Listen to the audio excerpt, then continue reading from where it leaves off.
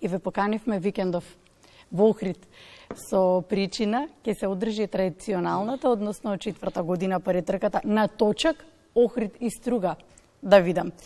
По повод ова трка, која што, ви реков, четврта година пред се организира од страна на Интернационалната полициска асоциација, од каде е протикната идејата и се организира по предлог на Обштинскиот совет за безбедност во Собраќа од Охрид од 2016 година и многу се инаку многу суперни во реализација на, на оваа идеја. Наш гостин денеска е Стефан Димовски од ИПА Охрид, организатор на турата. Добро утро. Добро утро. Јас ви благодарам за вашата покана. Ги поздравувам вашите гледачи, гледачите на Македонската телевизија и ве поздравувам со интернационалниот ИПА поздрав Серво пер амикецо, што значи служиме низ пријателство. Многу сте упорни во ова идеја, во, во реализација во овој предизвик, што ве води што ве води да истуркате се до крај? Да, добро забележавте, упорни сме, тоа го констатираат и многу наши сограѓани, многу луѓе од Македонија, многу луѓе кои што доаѓаат на ова ИПА велотура. А, она што е, би рекол, идеја или мисла водилка е дека ние мора нешто да направиме, бидејќи сме полициска а, организација интернационална, која што размислува конструктивно, размислува визионерски, ги согледува да. реално состојбите кои што се во светот, а реалната состојба е дека светот гради велосипедски автопати. И во време кога светот гради велосипедски автопати, ние се бориме да отпочне процесот на изградба на велосипедска патека помеѓу двата крајезерски града Охрид и Струга кога ќе се организира некој настан од било каков тип, прво нешто што граѓаните веројатно за да го иструкат овој проект ве прашуваат кој е бенефитот од оваа трка, освен тоа што ги поврзува двата, може би најубави града, Охрид и Струга, кој е бенефитот? Знаете, велосипедизмот е љубов, велосипедизмот е задоволство, рекреација, mm. спорт, здравје. Тоа е она што нас не води а, како влюбеници во велосипедизмот во оваа идеја. А... Еве гледам и по фотографиите. Да, управо да. така. Значи... Задоволни лица, насмевки, додека зборувате, ајде нема, ги гледаме Нема поубав да. бенефит и поубаво задоволство кога ќе констатираме и кога ќе видите mm -hmm. дека Од година во година се повеќе и повеќе се зголемува бројот на учесници велосипедисти.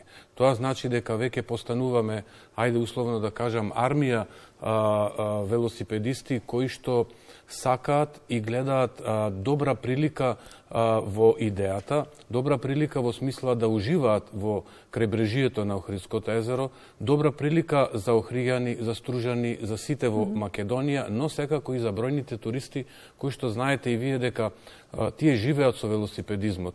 Не случајно кажувам дека а, веќе градат а, велосипедски автопати со кои што мрежата е огромна, со кои што се поврзуваат градовите, туристичките објекти, центри и така натаму. Добро, во екот на туристичката сезона, веројатно и вие сте атракција кога ќе ве забележат туристите кои што ги имаме од странство во голем број овој проект реални да бидеме. Не може да се реализира без поддршка на властите. Верувам дека централните власти ве поддржуваат. Па да, управо една од идеите е таа да се анимира локалната и централната власт конечно да се пристапи кон изградба на една современа преце, велосипедска патека помеѓу Охрид и Струга како туристички центри во Македонија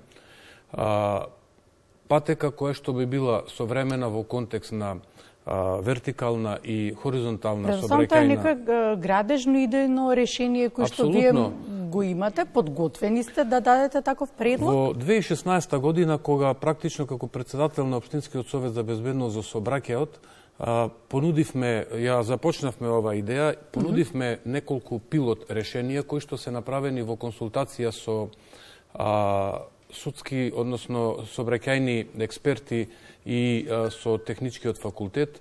Потоа имавме една средба во Охрид, панел дискусија во, на која што беа и представници професори од а, техничкиот факултет, така да не е неможно, но секако треба се направи првиот чекор. Првиот да. чекор е а, анимирање, анимирање не само на јавноста, туку пред се на одговорните во локалната и во централната власт а, и укажување на бенефитите од изградба на ваква велопатека за а, двата крајезерски туристички града пред се, но и за туризмот гледано во целина.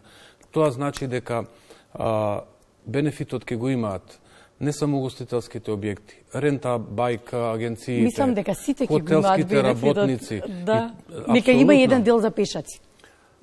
Нека има, нека има, но знаете да. како, а, веќе во самиот старт на а, а, зародишот на оваа идеја, реакциите, фидбекот од многу институции, асоциации беше повеќе од одличен. Mm -hmm. Значи пред се хотелско-туристичките работници и тие гледаат бенефит тука, да. бидејќи да. се зголемува бројот на рента бајка агенциите да. во Охрид, значи буквално Охрид од април па се до таму крајот на септември живее со велосипедизам, урбаниот велосипедизам, да. рекреативниот велосипедизам.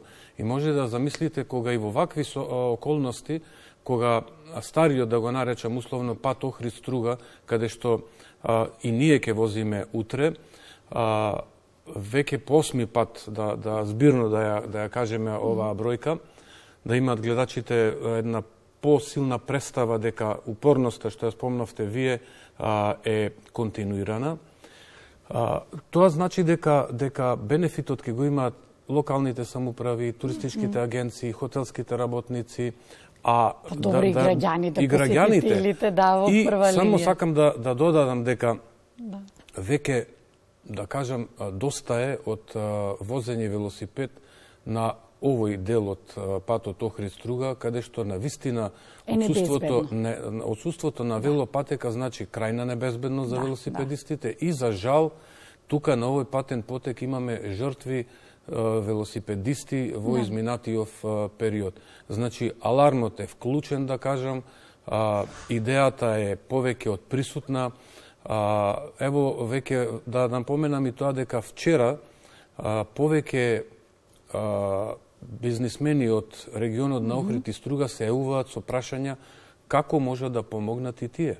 Значи, веќе свеста е на прилично високо ниво, реалната состојба согледуваат сите и а, треба само а, еден посериозен пристап од надлежните да се отпочне со размислување и идеен проект, пилот проект, кој што би значил првично согледување на можностите за изградба на велопатека, па понатака континуирано да се решаваат и останатите проблеми кои што ќе донесат до крајно нели решение и изградба на велопатека помеѓу Охрид и Струга. Ајде сега и во интерес на времето, конкретно разговора да ги повикаме сите љубители на велосипедизмот, утре каде е збирно место? Предпоставувам да тоа е на градското пристаниште. Така, а, значи, а, соочени со се поголемиот интерес од членовите на Интернационалната полициска асоциација, но и од граѓаните, mm -hmm. а, ние од минатата година веќе постануваме интернационална велосипедска тура, така да имаме така. велосипедисти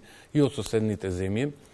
А, Тоа не е наведена идеја, тој еден ден сабота а, кој што го возиме а, ние да го зголемиме, да направиме и павело викенд, еден вид mm -hmm. туристички пакет и така да целата манифестација отпочнува вечерва, и павело викендот на точак Охрид и Струга да видам отпочнува вечерва во 19 часот и 30 минути на градското пристаниште. Тука го отвараме ИПА Вело Експо штандот, на кој што сите пријавени учесници ќе добијат ИПА Вело мајца, во сетот содржи магнезиум, вода и некои други... Се што е да. потребно, да. добро, така да, за хидрирање на организмот. Така да така. тоа е почетокот, а иначе главниот настан е утре во 8 часот, нели, са бајле, кога од градското пристаниште тргнуваме ни стариот дел на Охрид, покрај брегот на Охридското езеро, mm -hmm. па одиме по стариот пат за Струга.